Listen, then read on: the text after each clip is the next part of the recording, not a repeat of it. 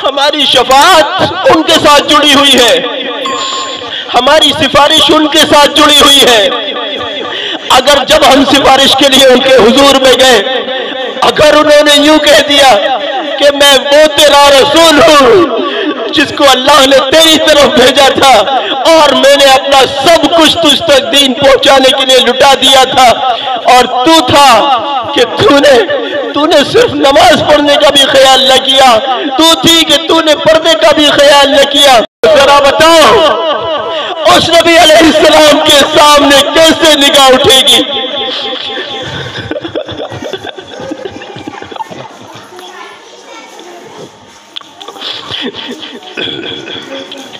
और अगर नबी अलैहिस्सलाम ने अगर धक्के दे दिए कि भाग जाए यहाँ से, कोई माफ़ी नहीं है तेरे लिए।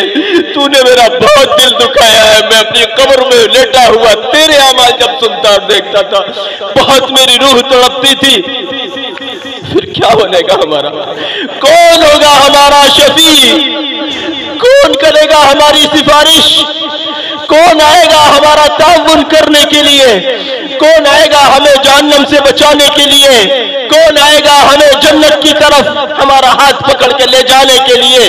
कौन आएगा मीजान में हमारे नमाए अमाल का वज़न बन जाने के लिए? कौन आएगा पुलसराज से हमारी आसानियाँ पैदा करने के लिए? कौन आएगा हमारी कब्र में हमारे सवालों को आसान करने के लिए? अज़ीज़ बहनों कोई भी काम, कोई भी मौका, कोई भी वक्त हुआ करे, अल्लाह ताला की कसम, सोच लिया करो कि कहीं मेरे आका करीम सल्लल्लाहु अलैहि वसल्लम कहीं मेरे अमल से नाराज़ तो नहीं होंगे। कहीं मेरे अमल से नबी सल्लल्लाहु अलैहि वसल्लम को तकलीफ़ तो नहीं होगी। मेरा अमल नबी सल्लल्लाहु अलैहि वसल्लम को कहीं तकलीफ़ में तो नहीं डाल देगा। हर काम से पहले सोच लिया करो। आखिर क्यों न सोचो कि तुम उस पैगंबर सलाम के गुलाम हो? हम सब अल्हम्दुलिल्लाह अल्हम्दुलिल्लाह अल्हम्दुलिल्लाह। उस पैगंबर करीम सल्लल्लाहु अलैहि वसल्लम के गुलाम है, जिस पैगंबर हज़रत मोहम्मद सल्लल्लाहु अलैहि वसल्लम ने ना कोई सुबह छोड़ी है, ना कोई शाम, ना कोई दिन छोड़ा है, ना कोई रात, ना कोई खुशी छोड़ी है, ना गम का कोई मौका कि जिस वक्त अपनी उम्मत के लिए दुआएँ न की हो, जिस वक्त अपनी उम्मत के लिए कुर्बानियाँ न दी हो, जिस वक्त अपनी उम्मत के लिए अल्लाह रब्बुल इज़्ज़त से मांगा ना हो, यहाँ तक कि जब इस दुनिया से तशरीफ़ ले जा रहे हैं, गम का मौका है।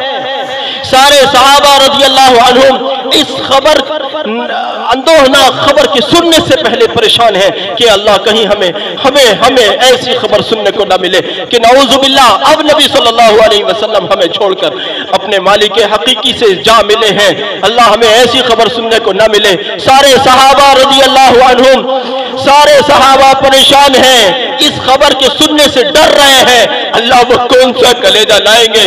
अल्लाह अपने दिल को कैसे समझाएँगे?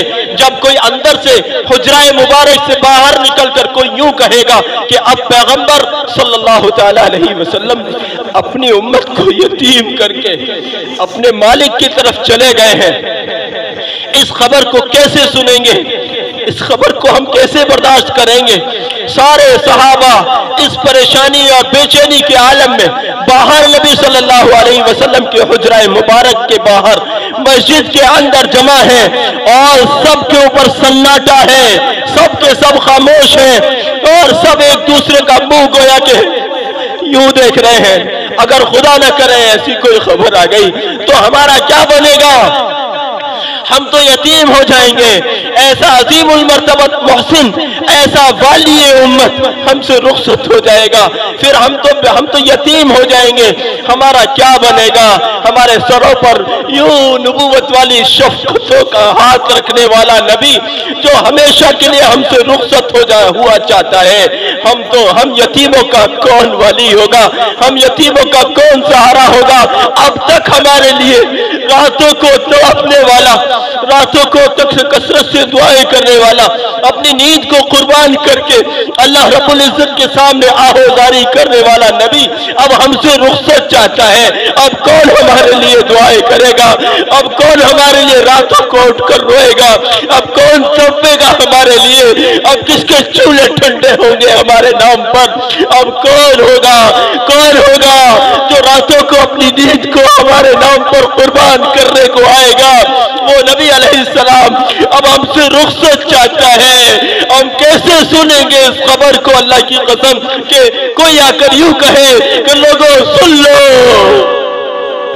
तुम्हारा पैगंबर सलाम तुम्हारे लिए तोड़ने वाला, तुम्हारे लिए रोज़े रखने वाला, तुम्हारे लिए भूख रहने वाला, तुम्हारे लिए अपने बच्चों को जिबा कराने वाला, तुम्हारे लिए पक्के मकान न बनाने वाला, तुम्हारे रातों को अपने मौला के सामने फरियादे करने वाला, तुम्हारा शफी मैशर और तुम्हारा दुनिया में तुम्हारी बख्शिश का तलबगार अब दुनिया से चला गया है।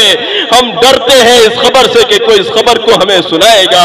मेरे बहनों, जिस वक्त नबी सलाम के सहाबा बाहर इस खबर से डर रहे थे, उस वक्त पैगंबर सलाम जिनके सामने मौत का फरिश्ता खड़ा था, जिनके सामने जबरील सलाम भी आकर खड़े थे, वो पैगंबर जबरील से कहते हैं, जब फरिश्ता मौत का कहता है कि नबी जी आपका परवरदिगार आपके मिलने के इश्तियाक में है, आपका रब आपसे मिलने की का मुतमनी है, आपका रब आपसे मिलने की तमन्ना रखता है।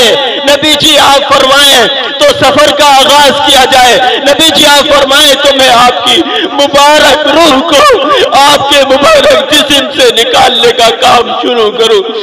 नबी सल्लल्लाहु अलैहि वसल्लम जिब्रील अलैहिस्सलाम की तरफ़ देखते हैं। जिब्रील क्या कहते हो? जिब्रील क्या कहते हो? जिब्रील कहते हैं, नबी सल्लल्लाहु अलैहि वसल्लम, आपका परवरदिगार, आपसे मुलाकात का मुतमनी है, आपसे मिलना चाहता है। रब्बुल आलमीन आपके इंतज़ार में बैठा हुआ है। नबी सलाम सफ़र को तरजीह दीजिए और मलकुल मौत को अपना काम को शुरू करने का हुक्म दीजिए। नबी सलाम इस मुश, इस मुश्किल घड़ी के अंदर जो बजाहिर तमाम लोगों के लिए मुश्किल होती है लेकिन नबी सल्लल्लाहु अलैहि वसल्लम के लिए भला क्या मुश्किल? नबी सलाम जिब्रील से कहते हैं जिब्रील अल्लाह इज़्ज़त से पूछो मेरे बाद मेरी उम्मत का क्या होगा? मेरी उम्मत का क्या होगा? बैरे में बसने वाली मेरी बेटियों का क्या होगा?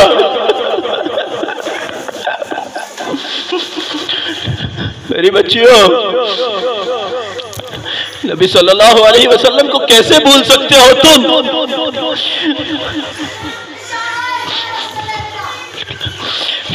कोई मरते वक्त में कहता है, मेरे नवासों को बुलाओ। कोई कहता है, मेरे बेटे को बुलाओ। कोई कहता है, मेरी बीवी को बुलाओ। कोई कहता है, मेरे माँ बाप को बुलाओ। कोई कहता है, फला जागीर का हिसाब लिख लो कोई कहता है, मेरी प्रॉपर्टी का हिसाब लिख लो लेकिन पैगंबर करीम सल्लल्लाहु अलैहि वसल्लम जिब्रील से कहते हैं, जिब्रील, पूछो अल्लाह से।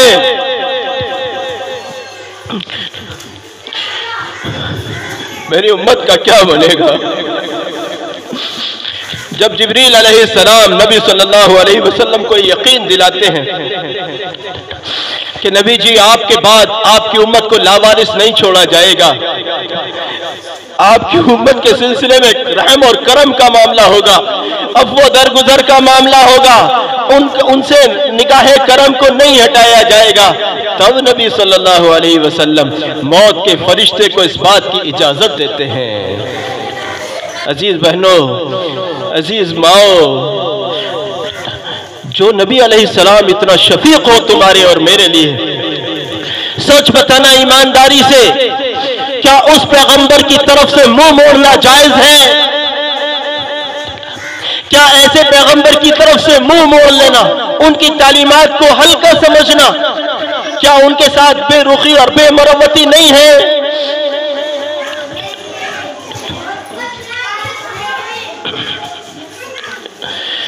अज़ीज़ बच्ची हो, याद रखना, हमारा वो शफीक पैगंबर सल्लल्लाहु अलैहि वसल्लम, अगर उनकी दुआएँ न होती तो आज जितने हमारे यहाँ बुराइयाँ पाई जाती हैं, अल्लाह हम सबको उन सारी बुराइयों से महफूज रखे। आज इतनी बुराइयाँ हमारे अंदर पाई जाती हैं, ये सारी की सारी बुराइयाँ हमारी तबाही की वजह बनकर रहती लेकिन ये हमारे पैगंबर सलाम की दुआओं का तुफैल है कि हमारे इतने सारे गुनाहों के बावजूद अल्हम्दुलिल्लाह ये ज़मीन यूँ ही ठहरी हुई है। ये आसमान यूँ का यूँ ही ठहरा हुआ है। ये सूरज और चाँद यूँ ही अपनी, अपना नूर बिखेर रहे हैं और ज़मीन पर वो सारा का सारा निज़ाम अल्लाह के फजल से चल रहा है। आज कोई गुनाह कर लेता है, अल्लाह के फजल से उसके लिए इस्तफार का दरवाज़ा खुला हुआ है।